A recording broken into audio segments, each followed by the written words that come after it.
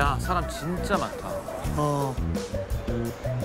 여기가 다 유흥가만 있지 않고 또 이렇게 사는 사람들도 있을 거 아니야. 명동에도 사람이 살지. 어.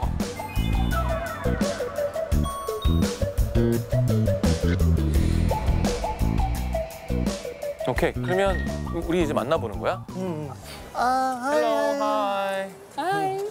I'm Janissa Pringles. I am a journalist and I mainly write about sex, intimacy, and also about sex work in the Ballen. And sometimes I also try out things myself.